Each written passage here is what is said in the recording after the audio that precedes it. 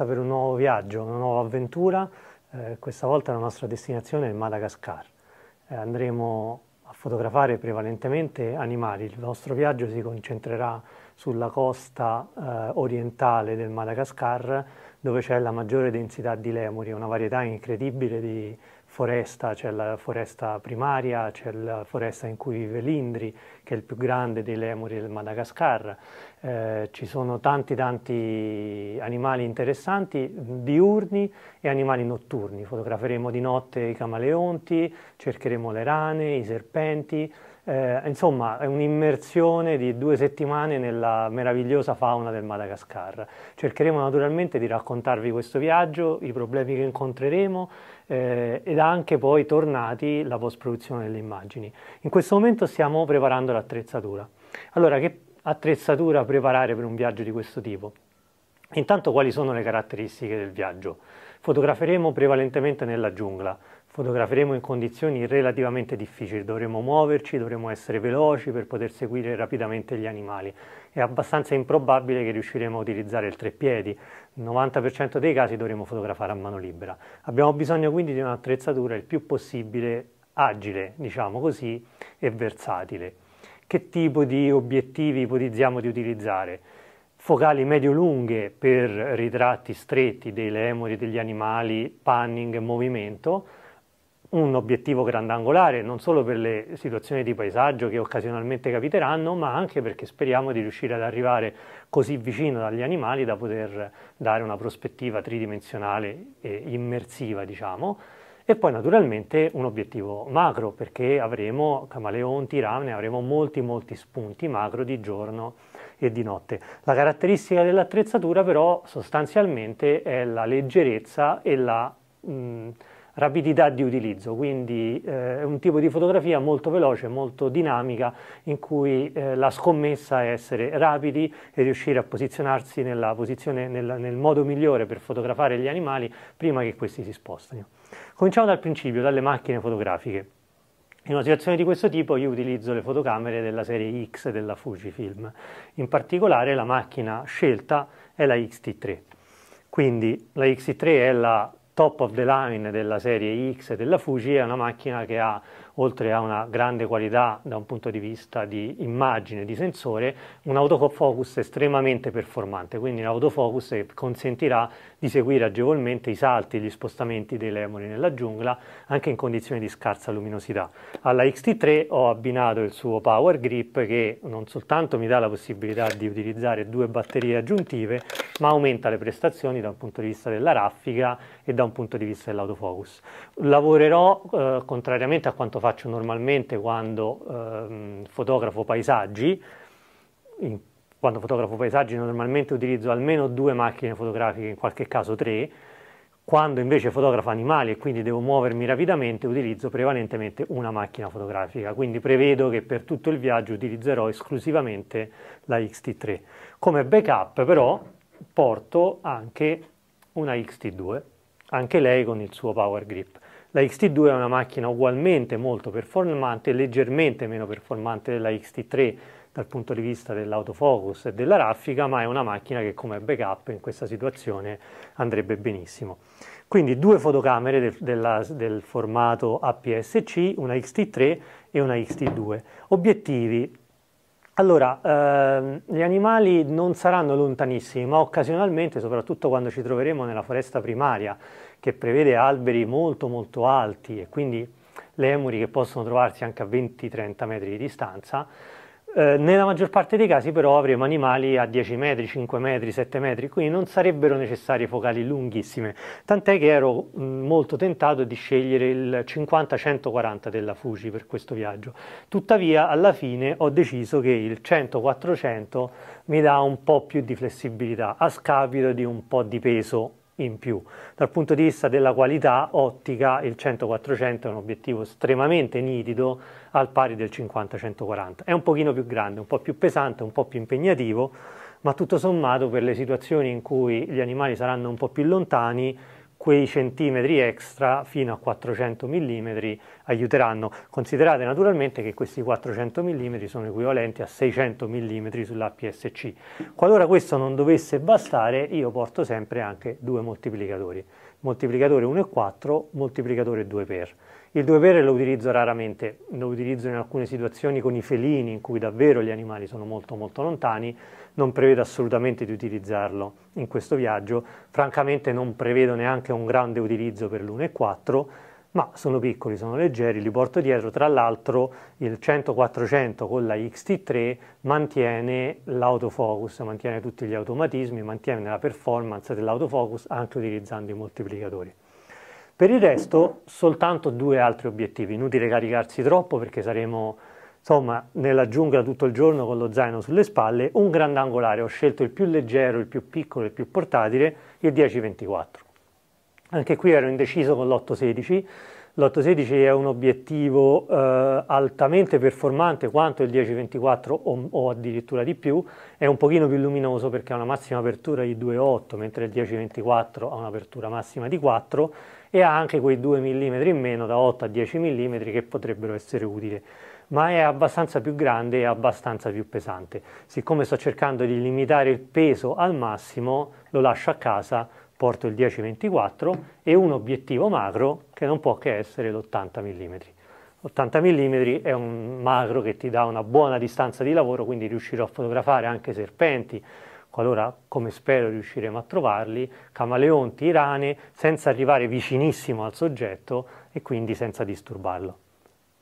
Veniamo poi alla parte più importante, diciamo subito dopo la macchina, subito dopo gli obiettivi, la sezione più importante è la sezione luci.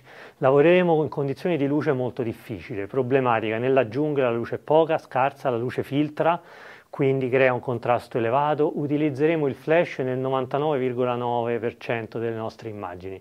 Quindi è assolutamente indispensabile avere un flash affidabile, eh, che non surriscaldi, che non ci molli sul campo.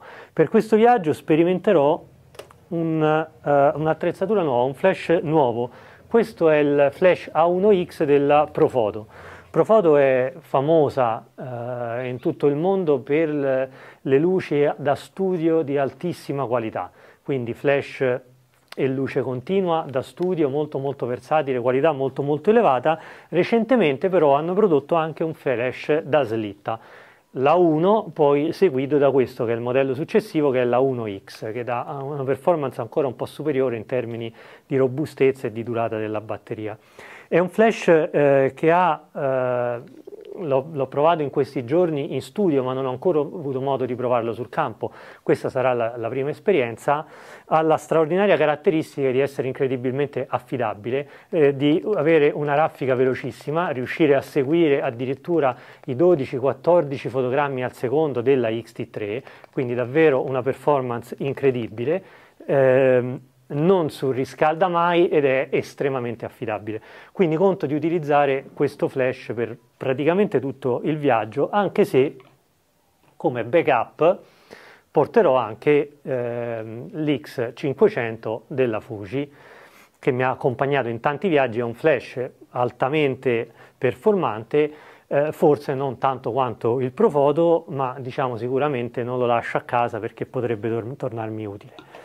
Eh, il Profoto ha un'unica piccola complicazione rispetto all'X500 e vale a dire che mentre l'X500 si può montare direttamente sulla fotocamera, il Profoto ha necessità di un trigger per lavorare in TTL, questo per via di alcune limitazioni nella comunicazione tra la fotocamera e il flash. Quindi in poche parole io non potrò montare questo flash direttamente sulla slitta in questo modo. Peraltro è una situazione che, viste le dimensioni del flash comunque maggiori rispetto ad altri flash come l'X500, creerebbe un insieme non molto stabile. Quindi conto di assemblare il tutto utilizzando una staffa. Allora, questa è una staffa della Kirk che ha, eh, mi dà la possibilità di montare la fotocamera e poi di montare anche due accessori al lato. Quindi conto di organizzare il tutto in questa maniera. La XT3 sulla staffa, la staffa è di tipo arca swiss, naturalmente qui ci andrà l'obiettivo, ora per semplicità metto l'80 mm macro ma naturalmente alla stessa, allo stesso identico modo il 100-400 e a questo punto potrò montare il Profoto a 1X sulla staffa in questa maniera qua.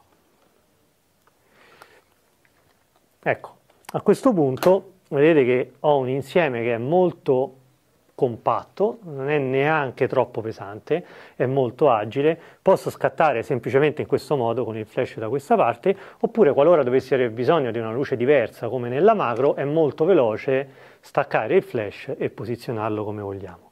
Eh, per attivarlo abbiamo però necessità di un trigger a questo punto. Allora, i trigger disponibili sono due. C'è il eh, trigger classico della Profoto che è quello più completo in qualche maniera che consente di gestire più canali, più flash diversi con diversi eh, livelli di esposizione. E c'è anche un, un, altro trigger più piccolo, più compatto che loro chiamano il Connect che è questo qui piccolino, piccolissimo, si ricarica con un USB e eh, semplicemente si monta sulla slitta del flash della macchina fotocamera si accende e controlla il flash in TTL, anche in manuale naturalmente, ma anche in TTL, supporta la sincronizzazione ad alta velocità eh, e quindi in qualche modo tutte le eh, caratteristiche del flash. Ehm, quindi ecco, vedete che è un insieme molto agile, molto compatto. L'altro accessorio, l'altra staffa, la utilizzerò per montare una GoPro e questo mi aiuterà per le riprese eh, in soggettiva, diciamo, per cercare di descrivere anche quello che vedo e di far vedere gli animali così come li vedo dalla, eh, dalla mia macchina fotografica, se vogliamo. Altre cose importanti, beh, il Profoto ha una sua batteria dedicata, ehm, una batteria mm, non so ancora esattamente quanto duri, anche se dai test sul, in studio sembra che abbia una durata abbastanza buona, ma ho anche due batterie di riserva, ci sono i modificatori della luce, diffusori, adattatori grandangolari, eh, porterò un piccolo set di filtri, non porto in questa situazione i filtri Nisi, che sono quelli all'astra più impegnativi che utilizzo per la fotografia di paesaggio perché non sono adatti a un tipo di, di, di fotografia così itinerante se vogliamo, porto però dei semplicissimi filtri a vite, eh, in particolare un ND8, un ND1000 e un polarizzatore. Di tutti questi molto probabilmente utilizzerò soltanto l'ND8 il motivo per cui prevedo di, poter, di, di, doverlo utilizzare è per diminuire la quantità di luce, quel tanto che basta per riuscire a effettuare un panning magari con dei tempi di scatto un pochino più lunghi nella giungla, nella vegetazione. Eh, L'ND1000 è un filtro eh, dedicata alla fotografia di paesaggio, quindi è molto improbabile che mi serva in questo viaggio. Il polarizzatore anche un filtro che si usa prevalentemente nella fotografia di paesaggio, molto difficile utilizzarlo con gli animali perché normalmente non si vogliono togliere, non si vogliono perdere quei due o tre stop di luce che eh, l'utilizzo del polarizzatore implica. Li porterò comunque per sicurezza. Tutto il resto dello zaino è sostanzialmente dedicato ad accessori eh, per, le, per la ricarica, quindi andiamo da power bank che possono sempre servire sul campo per ricaricare il trigger, per ricaricare qualunque cosa, ha una quantità eh, notevole di batterie. Queste sono le batterie della T3 o della T2, hanno esattamente la stessa identica eh, batteria. Eh, dovendo fotografare tutto il giorno dall'alba al tramonto fino alla notte è indispensabile avere abbondanza di batterie di ricambio, eh, il resto è sostanzialmente per riprendere quello che farò, quello che faremo e cercare di raccontarvi il viaggio. Quindi utilizzeremo una GoPro, anzi due, una montata su di me, una per le riprese che riprenderanno me che fotografano, che fotografano. Non mancano le batterie della GoPro, come vedete, stabilizzatore gimbal per stabilizzare la GoPro.